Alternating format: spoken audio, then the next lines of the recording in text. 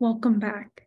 So we're going to talk about how we can add a third variable to our bar plots today.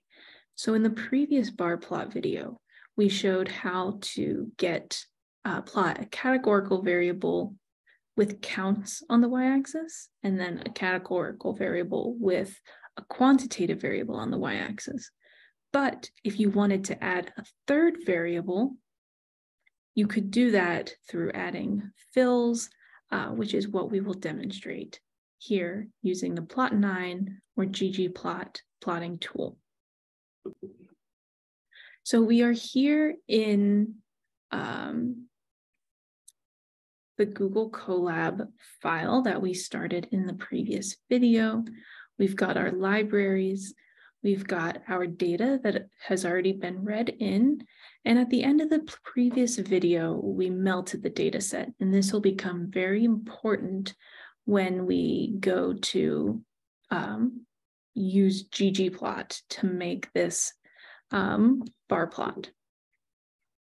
And so we can go ahead and just get started with our ggplot.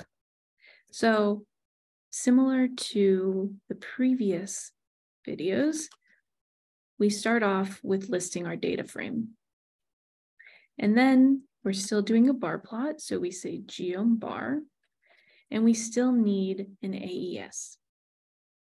And so in the past, we specified an x-axis, we'll say category, we specified a y-axis, emissions, and then we did stat equals identity to say we want the actual data. We don't want to do any calculation on it.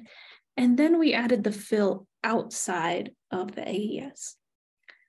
And that's how we got a two variable plot.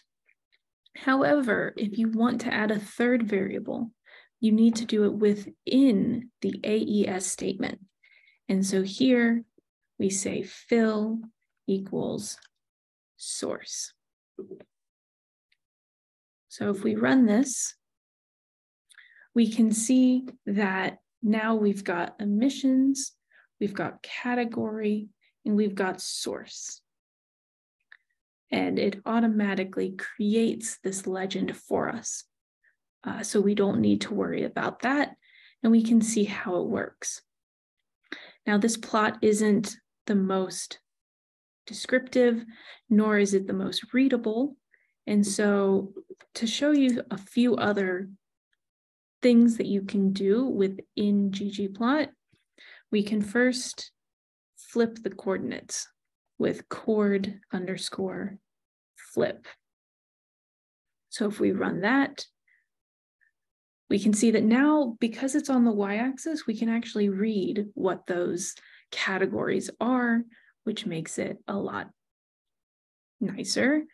Um, and then we can actually add some labels.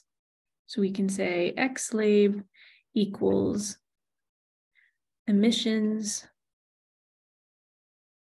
scenario. And note that I said X label, it needs to follow whatever you mapped your X value to in the AES statement. So in this case, when I run this, the X label is actually on the Y because I flipped those coordinates, but the program is able to track uh, where you, uh, which value you coded as the X value and attach the um, actual um, know that that's what value you mean when you do the label instead of assuming that it goes on the x-axis automatically. So instead of tracking a specific axis at this point, we're tracking a variable and the program knows where to put that label based off of the variable. And so this is an example of how you can add a third fill based variable to your bar plots.